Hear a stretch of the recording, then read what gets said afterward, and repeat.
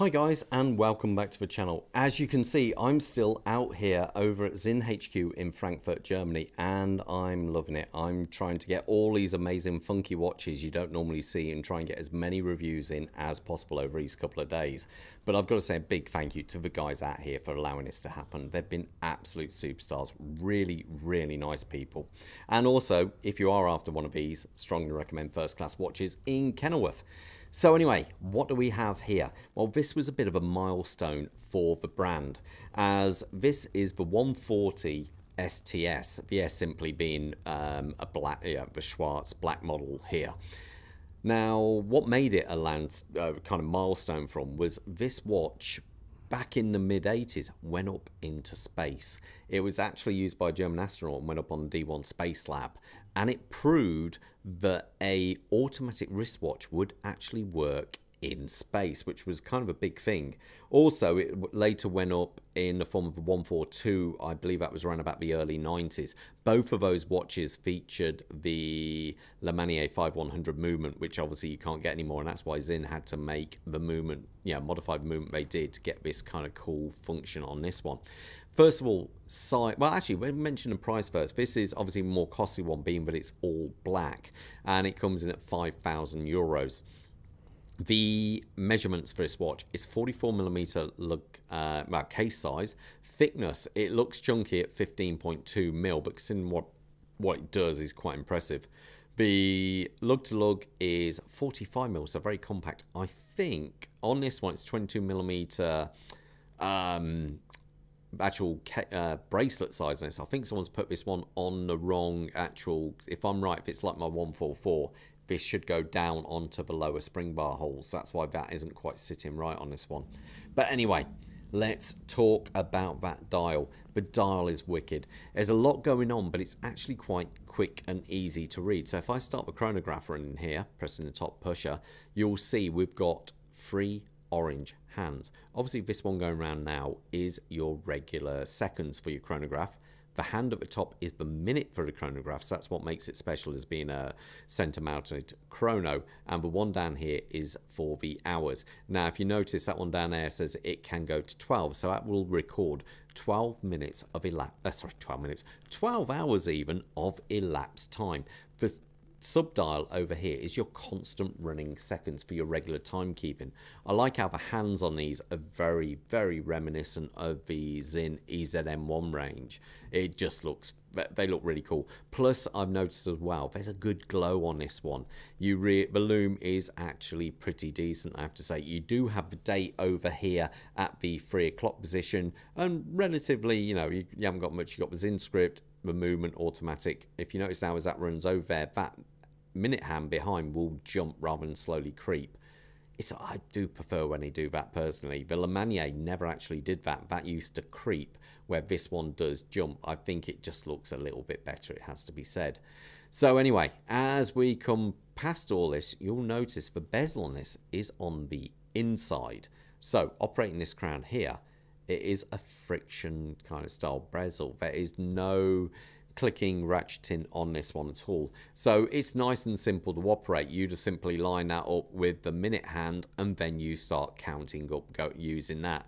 So it's a nice way of recording a second amount of elapsed time. It's lovely to use. There is no, it doesn't seem like there's any kind of backlash in any way in the gearing for that at all. Overall, I quite like the dial. There's something about a center mounted chrono which just makes it quick and easy to read. I'm a big fan of them. As we come past that, the actual crystal is a sapphire crystal. It features AR on both the inside and the outside. And I've said it to many people, I still prefer to have the AR on both sides because simple fact is it's so clean in comparison. It keeps reflections down to an absolute minimal. Uh, if you're not one of these people who likes the AR on the outside, you can always ask a watchmaker to polish it off for you, like myself. If anyone wants that service done, bring it to me, I'll do it.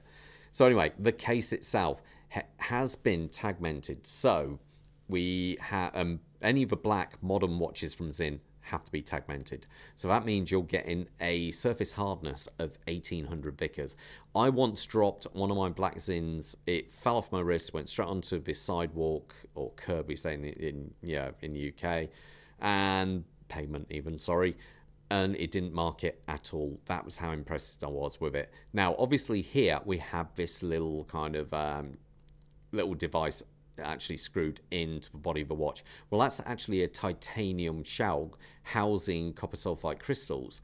So what Sinn have done to stop any kind of fogging within the watch at all, because whenever you screw the back on the watch, there's always going to be a certain amount of moisture. You can't help it. It's just naturally in the oxygen around us, you know. So they put the watch into a vacuum, remove the oxygen, then pump in an inert gas. But the other thing they have to do, that inert gas has thinner, smaller molecules than the actual oxygen. So they have to replace the actual crystal, crystal uh, sorry, the crystal gasket and all the seals for a more advanced type. So if you were to leave this watch face down in snow or in, you know, like somewhere cold, plunge pool, going out to a sauna, whatever, you'll get no condensation form under the crystal of this watch at all. If you try that with any high-end watch, Rolex, um, Patek, you name it, you know, Tag, you know, Omega, anything, you'll get condensation form. I would not recommend it as that isn't actually good for your watch to lay all concentrate in one area. So that's called their AR dehumidifying system. Now, as we come past that, we come over to this side. We've got the exposed pushers and the crown. The crown isn't a screw down crown, but it is heavily reset into the actual body of the watch. I must say it's quite hard to get out. You do need your fingernail to really dig in there to get, yeah, actually unscrew that to, not unscrew, but to pull it out. The watch features 100 meters of water resistance. Now, the chronograph, you may say water resistance and chrono, chrono pushers aren't the best you know thing to have but these feature Sinn's d3 system. So it enables you underwater at any of the depths of what it is actually made for to operate the chrono which is know really quite impressive to be fair. Now as we come round to the back we do have a solid case back on there which does obviously talk about the uh, history where you got the d uh, d1 uh, mission i think on the back but underneath that is the SZ01.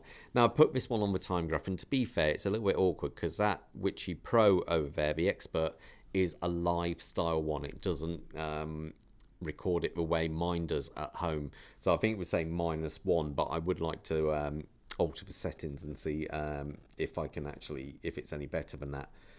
It's a 20, uh, 26 no i think it's a 28 joule movement it's basically a mod a heavily modified i think it was the 7 eta 7750 and it is you know to use this i would love to see how they do it. I'd love to strip one down and actually have a look at one. It would be quite interesting to see what they've done to actually do that. The watch also features has a low pressure rating to it as well so it's passed on that. As we come past all that though we have the good old fashioned H-Link bracelet with the Allen key inserts there. They're absolutely great. The clasp um, is the old style one on this, but I believe it probably will be getting the new style clasp very soon on these. Um, dive link extension on the back of there. These are very, very solid. Let me put it on my wrist so you've got an idea how it looks. A quick wrist check. And I am wearing the EZM1, which is at, which actually is a Lemania 5100 movement. In fact, it was the very last um, watch to ever have a 5100 movement ever fitted to it. Um, Bob, he's gone for the 717, which is an absolute beast of a watch. My wrist size is seven and a quarter inches.